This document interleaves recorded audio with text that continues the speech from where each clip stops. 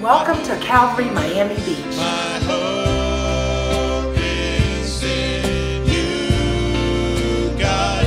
I am steadfast. I will not be moved.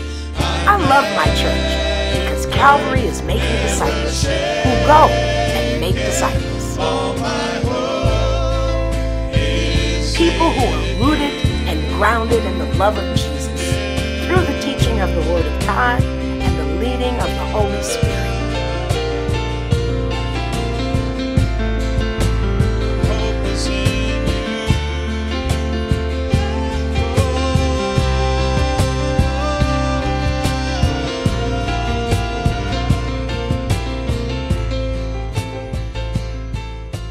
I'm going to take you back to the very beginning. You know, I was thinking about just what what we're looking into this week, and I don't know, for some reason, it just reminded me of Genesis 1 1. it says, In the beginning, God created the heavens and the earth. You know, we, I think we kind of take that for granted sometimes. You know, it, it- we don't really give a lot of thought to the fact that the very ver, you know, first verse, the very first statement in the Bible is, is this reminder that in the beginning, God created everything. And then if you skip down, verse 26, Genesis chapter 1, then God said, Let us make man in our image, according to our likeness. Let them have dominion over the fish of the sea, over the birds of the air, over the cattle, over all the earth, and over every creeping thing that creeps on the earth. So God created man in his own image. In the image of God, he created him, male and female, he created them. Then God blessed them and said to them, Be fruitful and multiply, fill the earth and subdue it, have dominion over the fish of the sea, over the birds of the air, and over every creeping thing, or over every living thing that moves on the earth. And God said, See, I've given you every herb that yields seed, which is on the face of the earth, and every tree whose fruit yields seed. To you it shall be for food. Also, to every beast of the earth, every bird of the air, to everything that creeps on the earth in which there is life, I have given every green herb for food. And it was so. Then God saw everything that he had made, and indeed it was very good. So the evening and the morning were the sixth day. Now, stop right there. Why, why am I even going into this, you know, beginning passage of Scripture? Well, because the Word of God is really, really clear right here. It says that God created everything, and the idea, what's clearly stated in the original language, is that God created everything out of nothing. There was, there was, you know, absolutely nothing. We can't even comprehend that. Absolutely nothing. And, and, and then God spoke and He created everything. And He did it, the Bible says, in six evenings and mornings. In other words, six normal days. There's all kind of argument about that. But that's what the Bible tells us. Now, the reason that there's argument is that it's impossible. To me, it's a ludicrous argument to begin with. It's totally illogical to, to even have a problem with the fact that the one who could create everything out of nothing, out of nothing, he, but he needed more than a week. You know what I'm saying? That's just stupid. If he could do it at all, he could do it like that, right? He did it in six days. He, did, he, he took this, he did it deliberately. I'm not going to go into all of that. Um, rather than taking a millisecond, he took a week. There's, a, I mean, a couple of sermons in that statement alone, six days. But see, here's the thing. If you don't believe this, if you don't believe that God created everything that is out of nothing in six days, you're going to have a real problem with what we're about to read. But if you believe that, then it's not going to be any problem at all when we read about these three miracles that Jesus did. And it's going to breed, you know, kind of bring forth within you a sense of excitement and anticipation. If you believe in the Almighty, Eternal One, this passage is going to get you a little bit excited. Matthew chapter 9, verse 18 says, When he, talking about Jesus, when he spoke these things to them, behold, a ruler came and worshiped him, saying, My daughter has just died, but come and lay your hand on her, and she will live. So Jesus arose and followed him, and so did his disciples. And suddenly, a woman who had a flow of blood for 12 years came from behind and touched the hem of his garment. For she said to herself, If only I may touch his garment, I shall be made well. But Jesus turned around, and when he saw her, he said, Be of good cheer, daughter. Your faith has made you well. And the woman was made well from that hour. When Jesus came into the ruler's house and saw the flute players and the noisy crowd wailing, he said to them, Make room, for the girl is not dead, but sleeping. And they ridiculed him. Literally, they laughed at him. But when the crowd was put outside, he went in and took her by the hand, and the girl arose. And the report of this went out into all that land. When Jesus departed from there, two blind men followed him, crying out and saying, Son of David, have mercy on us. And when he had come into the house, the blind men came to him, and Jesus said to them, Do you believe that I'm able to do this? They said to him, Yes, Lord. Then he touched their eyes, saying, According to your faith, let it be to you. And their eyes were opened. And, and Jesus sternly warned them, saying, See that no one knows it. But when they departed, they spread the news about him in all that country. Excuse me. Now,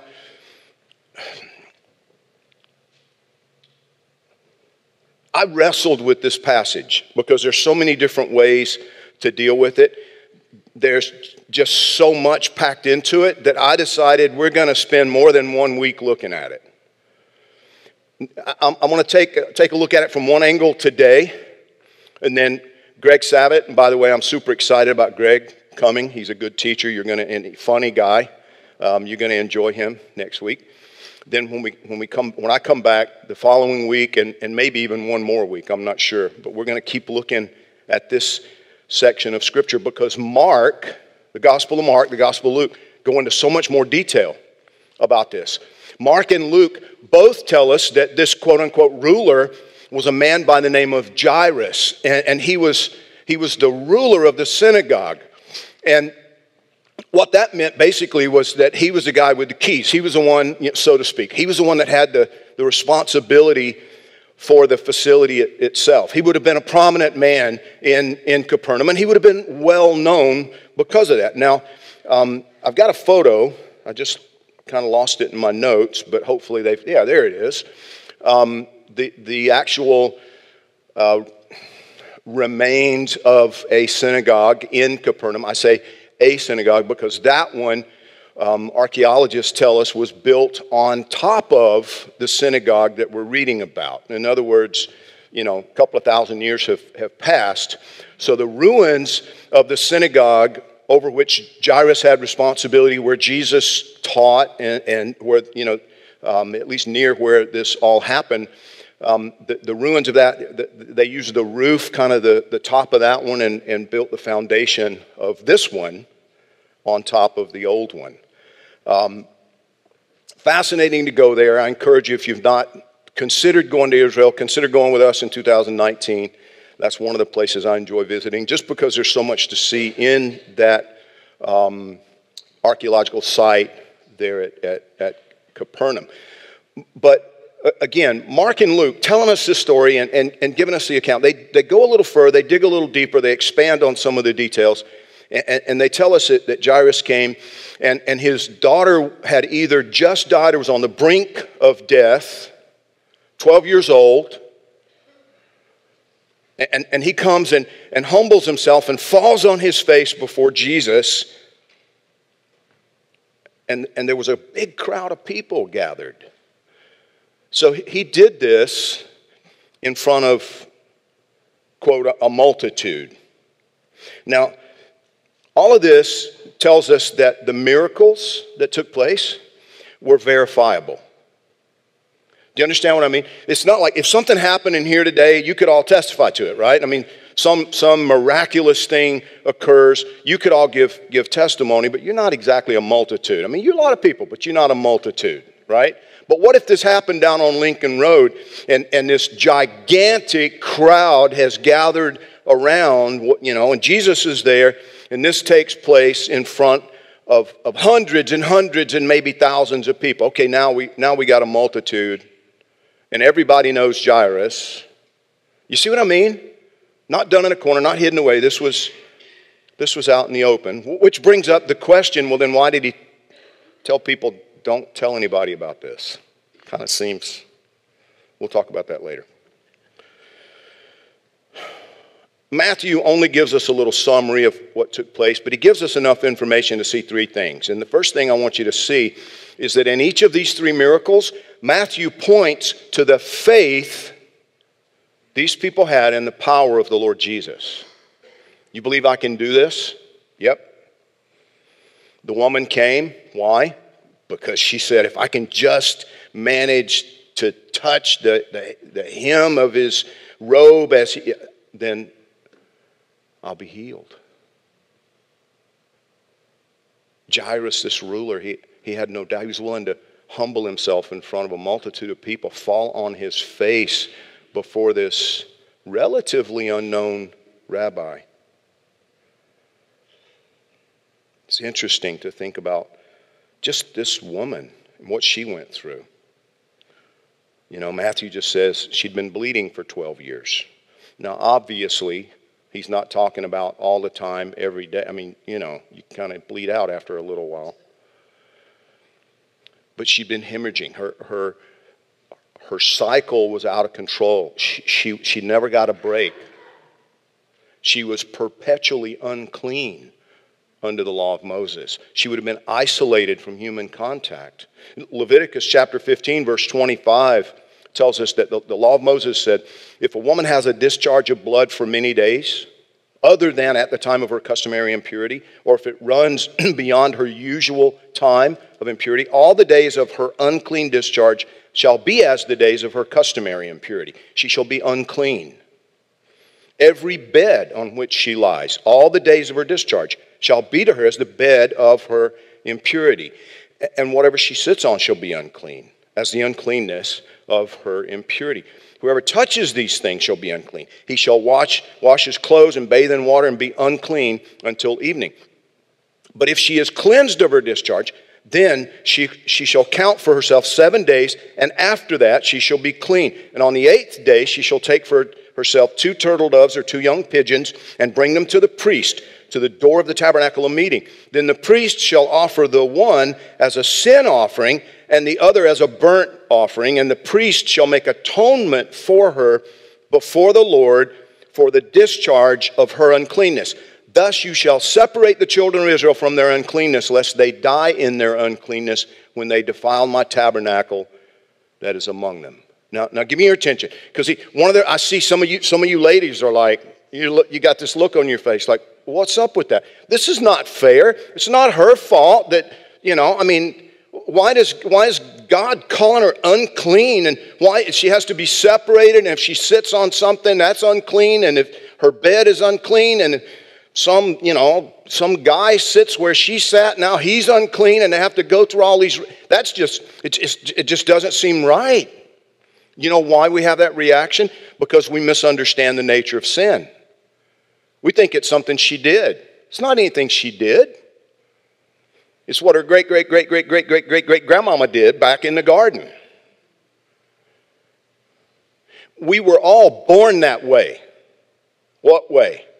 Impure, unclean, sinful, imperfect, messed up. Doesn't matter how you say it, it all means the same thing. None of us was born perfect. Now, sometimes people, you know, we like to think about innocent little babies, you know, that they're just yeah, just give them a minute. See what happens. Innocent, yes. Perfect, pure? No, they're human. And as humans, we have issues.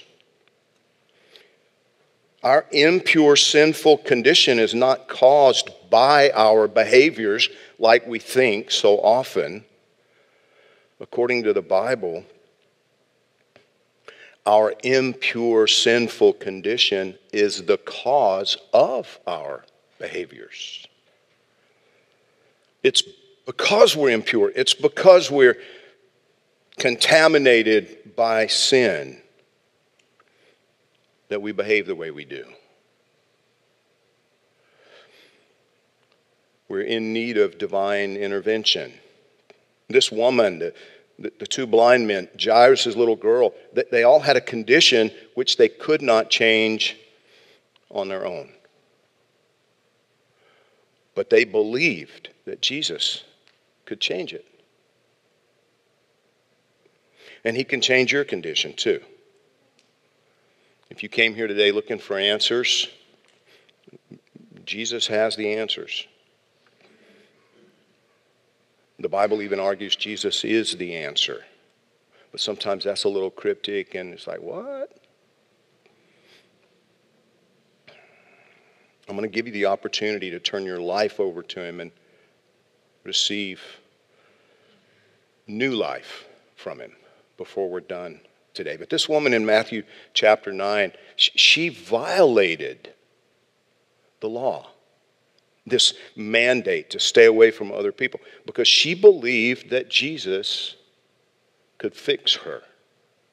He could make her whole. He could make her clean. The blind men who came to him, they came to him believing that he could do the impossible and give them their sight. Jairus came to Jesus believing that Jesus could raise his daughter from the dead. What do you need to believe Jesus for?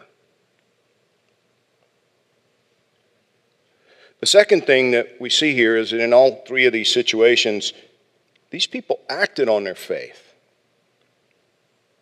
and pursued Jesus. Jairus left the bedside of his little 12 year old daughter to come and beg Jesus to do something utterly impossible. I mean, we read this, and because we know who Jesus is, it really is not that striking unless we take a minute and contemplate what it was he was doing. How absurd. I mean, what would you think? Just what would you think if somebody came running in here right now and, and just fell on their face in front of me and started begging me to come with them and raise their daughter from the dead? What would you think about that?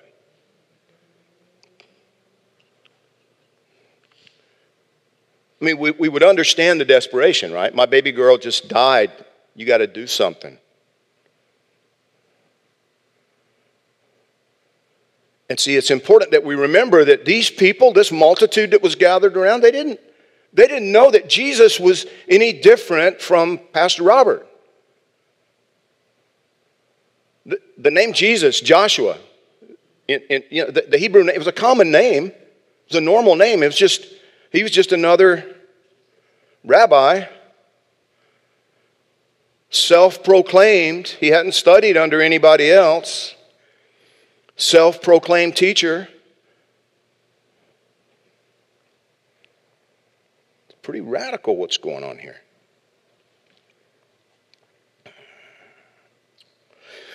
So, why did Jairus come to Jesus instead of going to one of the more well known rabbis? Do you understand? There were some really well known rabbis in Israel. One of them, Gamaliel, is still quoted today among or within Orthodox Judaism. He was famous. He's still famous. Why did this woman risk punishment by pushing her way through the multitude uh, until she could touch the hem of his garment? Why did the blind men come to Jesus asking for healing. Because they had heard of his power to change people's lives. The stories were already circulating about the miracles that he had done. They had heard from somebody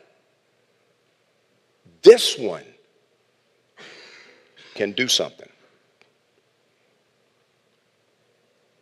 Romans chapter 10, verse 13 says, Whoever calls on the name of the Lord shall be saved. How then shall they call on him in whom they've not believed? And how shall they believe in him of whom they've not heard? And how shall they hear without a preacher? And how shall they preach unless they're sent? As it is written, How beautiful are the feet of those who preach the gospel of peace, who bring glad tidings of good things. In other words, how are people going to hear about his power unless somebody says something? See, we read this, we, the, the thing about preacher trips us up, and you think about me. But this is not about some guy preaching on Sunday morning. This is talking about some, someone who has seen the power of Jesus and just has to tell somebody. Your daughter died, but Jesus can, he can raise her from the dead. You don't understand. You're blind. He can, he can give you your sight.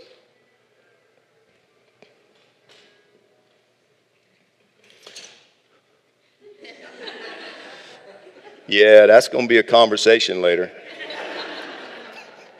That's my wife, for those of you who don't know. Uh huh. Probably my daughter. Yeah, exactly. I, I think I recognize the, the ringtone. My daughter calling from California. Man, oh man. Listen, has Jesus touched your life already? Then you have a duty to talk about it. You have an obligation to say something. Again, in Romans chapter 8, verse 11 says, If the spirit of him who raised Jesus from the dead dwells in you, he who raised Christ from the dead will also give life to your mortal bodies through his spirit who dwells in you. Therefore, brethren, we are debtors, not to the flesh, to live according to the flesh. For if you live according to the flesh, you'll die. But if by the Spirit you put to death the deeds of the body, you'll live. But do you understand what Paul is, is writing there? You and I are in debt. He bought us with his blood, he's given us life. We who were dead, according to the Bible. Not physically dead, like Jairus' little 12 year old daughter, but spiritually, we were dead. We had no connection to God. His spirit wasn't inside us. And we didn't somehow earn his intervention. He, he loves us, he made provision, and he intervened. And we have a duty to talk about it. Somebody told these people. Somebody told the blind man, hey, that guy Jesus that's healing people and giving them their sight, he's in town. You see what I mean? Somebody said something. And believing the testimonies that they heard, they acted in faith. And that brings us to the third and final point. I'm going to ask the band to come on back up. I want you to notice that, that these people who came to Jesus in faith actually received from the Lord Jesus what they asked for. So important that we don't miss this. In, in, the book of James, the Bible tells us you have not because you ask not, or because you ask amiss, because you just want to spend it on yourself. It's all you're making it all about you. So, two reasons that we don't receive from God we don't bother to ask, or we're asking from a self centered, self indulgent motive. Everything's about me. These, these people came and in faith, they, they took action and, and, and they came to him and they, they, they asked him, Would you please give my baby girl back to me? Would you give me my eyesight? The woman didn't even ask. right? She just reached out. And Jesus stopped, which he did not have to do. He turned and he made contact with this woman for the first time. Now, I can't promise you that he's going to do whatever you ask him to do. Sometimes he says no. If that's the most loving thing for him to do, then that's, that's what he's going to do. He's not a genie that grants people three wishes. He's a loving God who knows what we need and is committed to taking good care of us if we come to him in faith. And he may not fix all your problems, but I can promise you that he will fix you if you sincerely ask him to. Psalm 84, verse 11 says, The Lord God is a sun and shield. The Lord will give grace and glory. No good thing will he withhold from those who walk uprightly. O Lord of hosts, blessed is the man who trusts in you.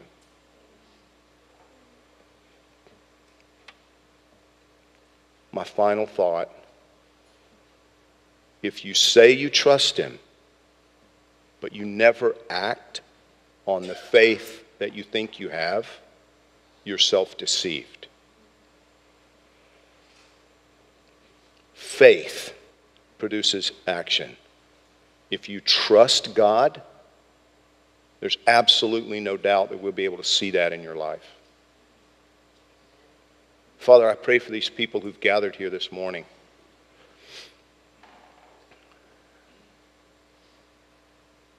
Lord, the ones who've been touched by you.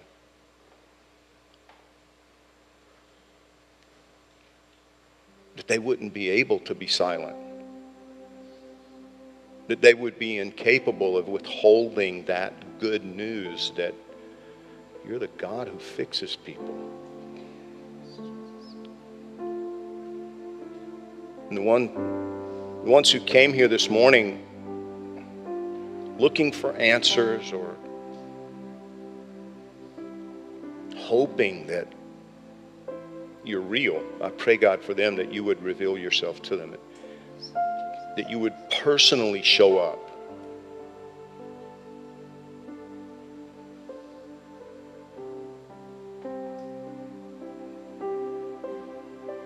I want to ask you to keep your heads bowed, and keep your eyes closed just for another couple of minutes.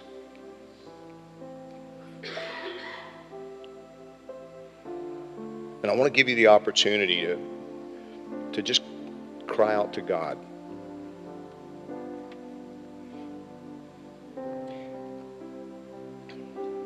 As a, as a young man, I got really frustrated with church. It was just always boring and it seemed to be completely ineffectual. It, it was just, I came to a, to a place where I, I just, why am I doing this? There's, there's nothing there, there's nothing happening, there's nothing real, and, and most of the people who go don't even really believe it.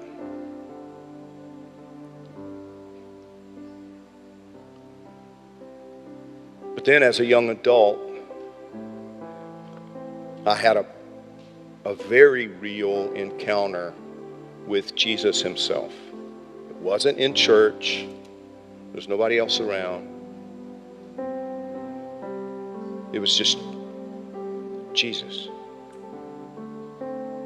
And I realized this stuff, it's all true. And the fact that there are a lot of people pretending and living hypocritical lives, that's, that's really irrelevant. I mean, if it's true, if he's really alive, then the hypocrites, well, that's their problem.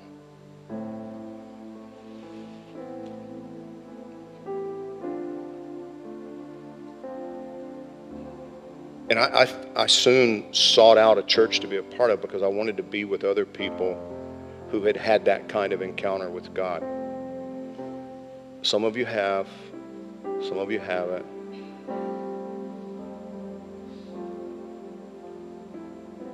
But He wants it for all of us. Just like He wanted it for Jairus and He wanted it for the two blind men, He wanted it for that woman and He, and he wanted it for, the, for those disciples who followed Him around. He wants it for you. He wants you to know Him.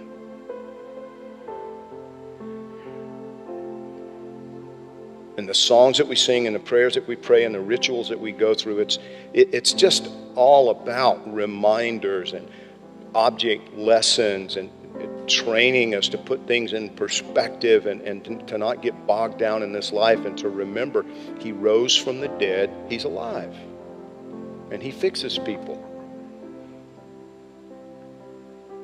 If that's what you need right now, the Bible says it's free. He came and paid for everything by being executed.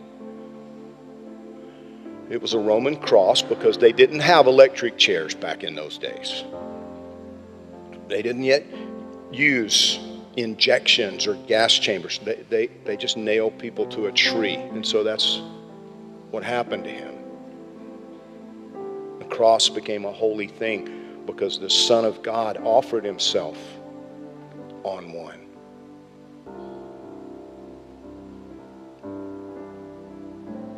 He paid for everything so that you and I could be pardoned, could enter into a relationship with God, a friendship with God, become part of His family.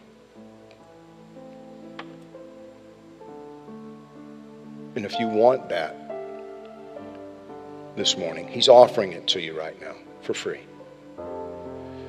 If you want Him to be the God of your life, then just tell him so. Just tell him that you need him to fix you. You need him to do a work inside you that you can't do for yourself, and you need him to, to start leading you and teaching you and helping you. He already knows that, but if you'll just acknowledge it, he'll go to work inside you. And if that's what's happening right now, I'd love to pray for you. If you just raise your hand, that's all I'm going to ask you to do. I'll pray for you. Good. Awesome. Good. Anybody else? Father, thank you for these, Lord, who have opened up to you this morning and they're asking you to do something inside their hearts, inside their lives that, that you're in, we're incapable of doing for ourselves. Only our Creator can recreate and change us. And so I agree with their prayers. I ask you to change them. I ask you to fill them with your Holy Spirit, make them new on the inside. Begin leading them and teaching them and training them and, and even using them as messengers to tell other people how awesome you are, how good you are. I ask you to surround them with other people who know you and love you and want to serve you give them opportunities to to be witnesses for you in the world. Give them a hunger to know the truth, to search the scriptures.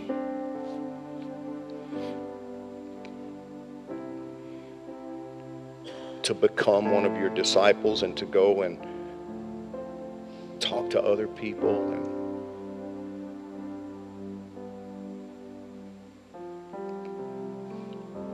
ask your blessing on them, God. In Jesus' name, amen. We're going to close in worship. The altar team's already up here. If you raised your hand a minute ago, or if you just need prayer for something, please come up and see them at the end of the service. Let them pray with you. Would you stand?